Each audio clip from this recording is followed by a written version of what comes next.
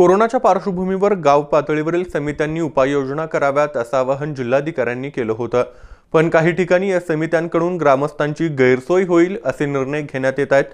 जिल्हाधिकारी दौलत देसाई यांनी असे प्रकार टाळावेत असं आवाहन केलंय.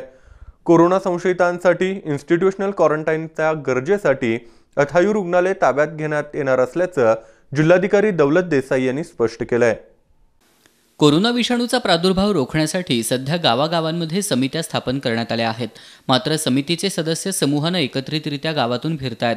गावामध्ये बाहेरची व्यक्ती येऊ नये यासाठी गावच्या वेशीवर मोठे दगड टाकून रस्ता बंद करणं रस्त्यावर मोठी चर खुदाई करणं असे प्रकार घडत आहेत यामुळे या समित्या प्रशासनाची चांगलीच डोकेदुखी ठरतीये. समितीच्या सदस्यांनी अतिरेक करू नये संचारबंदी लागू असल्यानं एकेकट्यानं काम करावं असं आवाहन जिल्हाधिकारी दौलत देसाई यांनी केलंय.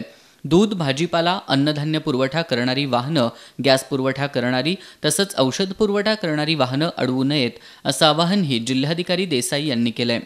ग्राम समितीच्या आणि प्रभाग समितीच्या अध्यक्षांना समितींना त्या समितीमधील सरकारी कर्मचारी प्रतिनिधी स्वयंसेवी संस्थांचे प्रतिनिधी यांना विनंती करतो आणि या समितीचं कामकाज आपण लोकांना लोकांची सोय करण्यासाठी आणि संसर्ग टाळण्यासाठी करूया. लोकांना याचा त्रास झाला तर लोक आपल्याला नावं ठेवतील. त्याच्यामुळं हे जे काम आहे आपण सगळ्यांनी चांगलं केलं आहे की सगळी मुवमेंट सगळी वाहतूक थांबली आहे त्याबद्दल तुमचं पुन्हा एकदा धन्यवाद.